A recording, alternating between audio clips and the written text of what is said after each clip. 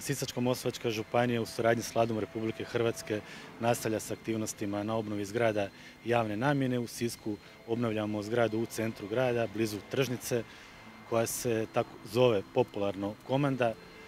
Vrijednost obnove oko 2,5 milijuna eura. Dakle, na ovoj zgradi će se ukloniti svi pregradni zidovi, ojačat će se postojeći nosivi zidovi, promijenit će se krovište, imat ćemo energetsku obnovu zgrade. Ono što je važno, nakon obnove imat ćemo na korištenje multifunkcionalnu dvoranu u centru grada. U ovoj zgradi između ostalih bio je smješten centar 112, a nakon obnove u dogovoru s Ministarstvom unutarnjih poslova Sisačko-Moslavačka županija će koristiti zgradu za potrebe i svoje nadležnosti. Ova zgrada podrazumijeva konstrukcijsku i cjelovitu obnovu. Vrijednost je 2,5 milijuna eura, ali iz Fonda solidarnosti negdje oko 2 milijuna eura biti će također, također e, sufinancirano. Naš je cilj da sve javne zgrade na području Sisačko-Moslavačke županije, ali i na području Zagrebačkog potresa, u dijelu koji podrazumijeva konstrukcijsku obnovu budu doista i, doista i konstruktivno obnovljene, pa samim time i financirane iz fonda, iz fonda solidarnosti, a kao što znate, preostalo nam je još četiri mjeseca i malo manje od dva tjedna da e, preostali iznos od 570 milijuna eura utrošimo kako bi te iste zgrade mogli, mogli su financirati iz fonda solidarnosti. Malo prije smo u županiji potpisali ugovor, ja i gospodin župan Celjak, kojim smo ugovorom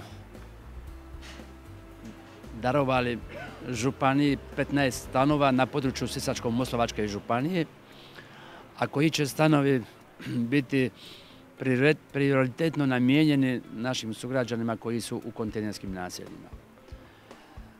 Ovakav postupak kojim se stambeno zbrinjavaju naši sugrađani koji su kontejneri. Jedan je od 11 modela u programu stambenog zbrinjavanja kojeg je vlada donijela prije 15 dana i temeljem kojeg programa ćemo nastojati u svakom slučaju do zime e, stambeno zbrinuti sve naše sugrađane koji su ili u kontejnerskim naseljima ili su smješteni u kontejnerima na svojim parcelama pored svojih oštećenih kuća.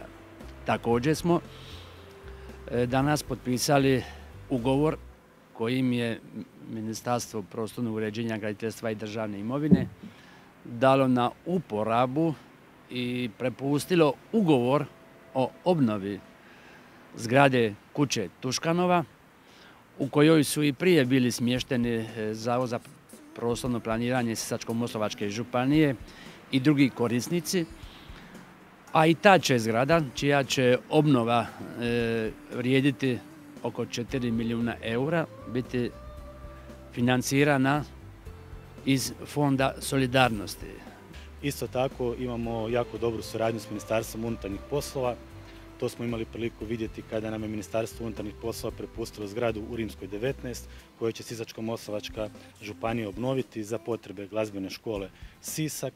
Također u tom prostoru ćemo urediti potreban prostor za galeriju, za udruge s područja kulture i grad Sisak će dobiti jedan reprezentativan kulturni centar u samom središtu grada. Ono što e, smo mi zajedno zapravo osmislili, a ministarstvo unutarnjih poslova odlučilo provesti i krenulo već u taj postupak jeste na mjestu gdje je već sada smještena policijska postaja Sisak.